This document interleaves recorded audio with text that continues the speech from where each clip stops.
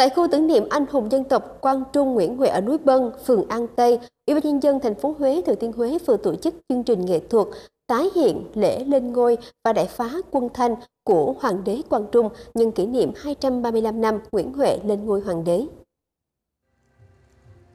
Sau lễ dân hương của lãnh đạo tỉnh, thành phố, chương trình nghệ thuật đã diễn ra đặc sắc với 4 phần gồm hội binh, lễ lên ngôi, xuất binh đánh trận và khúc khải hoàng. Chương trình nghệ thuật được tổ chức quy mô và đặc sắc nhằm thể hiện lòng tôn kính tri ân đối với công lao hiển hách của Phương Triều Quang Trung, của người anh hùng dân tộc áo vải cờ đào đồng thời khơi dậy niềm tự hào truyền thống chống giặc ngoại xâm của dân tộc ta. Cách đây 235 năm, chính tại khu vực núi Bân Linh Thiên, Bắc Bình Vương Nguyễn Huệ đã cho xây đàn tế cáo trời đất và làm lễ đăng quang lên ngôi hoàng đế, đặt niên hiệu Quang Trung. Sau lễ đăng quang một ngày, vua Quang Trung ra lệnh xuất quân ra Bắc, đại phá quân Thanh. Với lối đánh chủ động, liên tục tấn công thần tốc, bất ngờ táo bạo mãnh liệt. Từ đêm 30 Tết đến sáng mùng 5 Tết kỷ dậu, ngày 30 tháng 1 năm 1789, đại quân Tây Sơn đã mở cuộc tấn công các vị trí cốt yếu, tổng công kích vào đồn Ngọc Hồi Đống Đa, giải phóng kinh thành Thăng Long, đánh tan cuộc chiến tranh xâm lược của nhà Thanh, tạo nên chiến thắng hiển hách vang dội trong lịch sử chống Nhật ngoại xâm của dân tộc ta.